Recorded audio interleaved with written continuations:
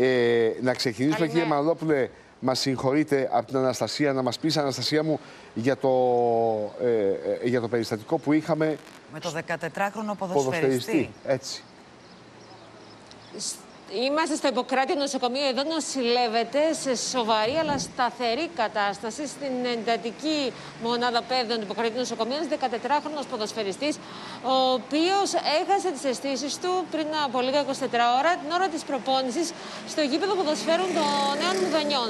Ευτυχώς ήταν άμεση η αντίδραση των προπονητών αλλά και εθελοντών γιατρών που βρέθηκαν ε, στο γήπεδο από το κέντρο υγείας ε, με εξωτερικό ποινιδωτή ε, του έκαναν κάρπα, καρδαμεριστική αναζωογόνηση. Έτσι λοιπόν για λίγα δευτερόλεπτα ε, δεν είχε σφιγμό ο 14χρονος. Κατάφεραν να τον επαναφέρουν, μεταφέρθηκε στο κέντρο υγείας Νέων Δανείων και από εκεί στο Ιπποκράτιο όπου νοσηλεύεται ε, σε ναι, μεν σοβαρή αλλά σταθερή κατάσταση.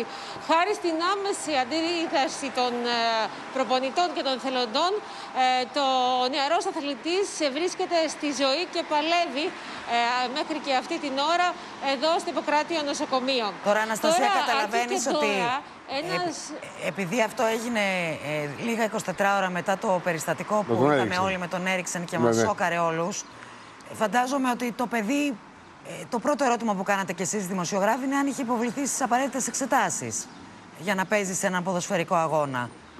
Αν είχε περάσει δηλαδή από τα τεστ που πρέπει να περνάνε οι Ε, ποδοσφαιριστές. ε, πάντα γίνονται αυτά τα τεστ γίνονται κάθε χρόνο στους ε, αθλητές και είχε κάνει τα απαραίτητα τεστ.